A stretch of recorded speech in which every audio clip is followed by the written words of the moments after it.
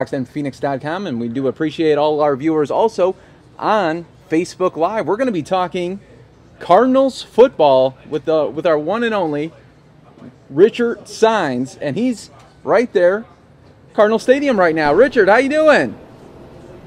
I'm doing great, man. Football season is here. I mean, I can't be any better than that, right? Hey, it's finally here. So tell me, what was it all about today? It must have been great to see some action finally. Yes, you know, today was the first practice. The fans got to come in. And last year they only had the fans on like one side of the stadium, but this year they were on both sides and they were both really filled and there were a lot of fans out here. They were cheering. I mean, for anything. Larry Fitzgerald runs out and everybody's like, "Yay!" And I'm like, "He hasn't even done anything yet." and then, of course, he had some good plays where fans did have a reason to cheer. David Johnson had a nice run.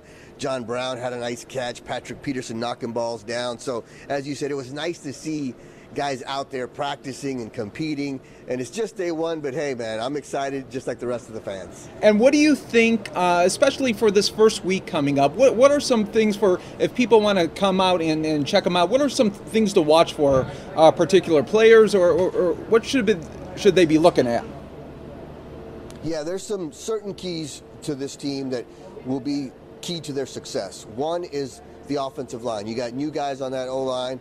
The top pick from last year, um, DJ Humphries, is going to be a starter this year, so all eyes on him. Also, watch the secondary. They got new guys in the secondary. They got new guys at cornerback. They lost two key players in Ger- Jerraud Powers and uh, Rashad Johnson. So they got some new guys there. They brought in Tyvon Branch from the uh, Kansas City Chiefs. So keep your eye on the secondary, keep your eye on the O line, and watch the battle at running back. David Johnson, the rookie from last year, was absolutely fantastic at the end of the year. But a lot of people forget before he became the starter, Chris Johnson, the veteran, was the starter, and he was leading the league in rushing. Then he gets hurt, and then David Johnson almost takes it to another level. So it's going to be a two-headed monster at running back this year for the Cardinals. And also, you know, bring something like a football or whatever, because after practice, they always have a couple players out by the elevators that sign autographs and stuff. And so it's pretty cool to see. It's really fan friendly and it's just a lot of fun. And it's also indoors. You get out of the heat and you can watch some football. So you can't beat that. Absolutely. And do you think this season, especially, there's going to be a little added swagger just because,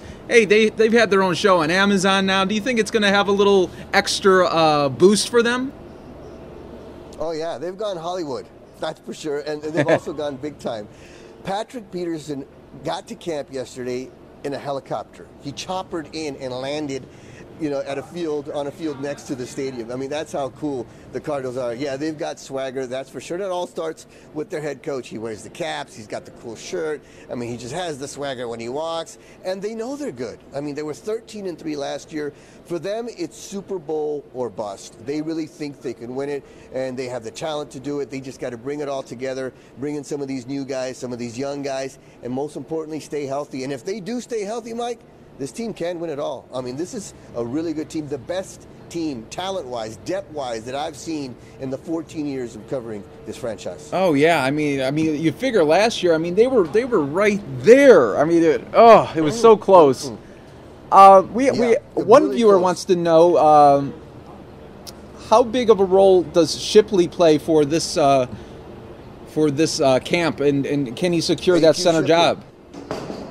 Yeah, AQ Shipley, uh, the center, and we were talking about you know that offensive line, and they've got some new guys there. But he's a veteran, he's solid, and Bruce Arians was already talking about him and saying, "Hey, this guy's great. I trust him." And it was almost like, "Is he already the starter? Are you just handing him the job?" Because that's not Bruce Arians' style. He likes for guys to compete. He loves competition at position. Because Evan Boehm is a, a rookie that they brought in who's been fantastic. He was a starter all four years at the University of Missouri, and they were saying he might come in and compete. So he goes, "Oh no, Evan's still going to compete, but AQ is the guy. Shipley's the guy. He has the advantage just because of." You know his experience, and that's what you want, especially when you're protecting a guy like Carson Palmer. But it's that's going to be a good battle. Very good question. And when you, when you look at the schedule for this year, Richard, do you think they could run the table in in the like in the beginning of the season? You know, maybe maybe jump to a five and zero start, four and one start. Do you think Yeah. that's possible? Yes, absolutely. Uh, that's a very good observation. When you look at the schedule, they get the Patriots at home without Tom Brady. I mean, we'll take that all day long. So they're going to start off really well, and, and they, they get you know a lot of games at home down the stretch at the end of the season, so they can also finish up strong. So that's going to be key is getting that early lead in the division, getting those wins early, kind of taking that pressure off, get that momentum going, and uh, look out. I mean, this team is going to be really good. 13 and three last year. I don't know how much better they can get than that. So uh, it's going to be interesting. Also, you got to see what the other teams in the division do. Win your division, win your home games, win a couple on the road, get home field, and then you're right there, just a couple wins to the Super Bowl. Absolutely. And um, what do you think is going to be maybe one of their maybe disadvantage or not disadvantage, but a spot they're going to have to work on if they if they really want to make it to that Super Bowl? What's one weak spot you think they need to really uh, get going here on uh, camp? Yeah, the one thing, like I was saying earlier, is that secondary. I really want to see a couple of those guys, you know, stake their claim to those starting spots. And another thing is health. You know, with every team, you got to stay healthy. And they were a different team when they lost the Honey Badger. That guy out there is a ball hawk. He's unbelievable. So I think staying healthy, getting Tyrann Mathieu back to the Honey Badger, and he sounds like he's close to coming back. He said, hey, I can do some drills right now if coach wants me to, but of course, they're going to bring him back slowly because they know what he can do, and they want to make sure he's 100% before he comes back, no setbacks. So getting Tyrann Mathieu healthy, keeping all the other key guys like Carson Palmer, Larry Fitzgerald, know, David Johnson healthy, that's key, and then also that defensive line. I think that defensive line has been upgraded with the top pick, Robert Nkemdiche, who's already injured, but it just seems to be like a little sprain. He's in a boot right now, but they don't seem too concerned with him. If they can get pressure on the opposing team's quarterback, their offense is going to put points on the board. So if their defense can come through, force some turnovers, and just hold the other offense in check, they'll be good. Nice. And um, our one Facebook viewer, John Roth, he wants to know when will the honey badger be back? Yeah, uh, uh, like I said a, minute ago, he's he's so close, and you can tell he's chomping at the bit. He's out there and he's talking to guys and he's hugging guys. And it was yesterday where he was like, "Hey, I can do some drills, you know, right now." Coach wanted me to, but uh, like I said, they're gonna they're gonna ease him back. He says two to three weeks. Bruce Arians was kind of vague when, when talking about that, but I think he'll definitely be back for week one.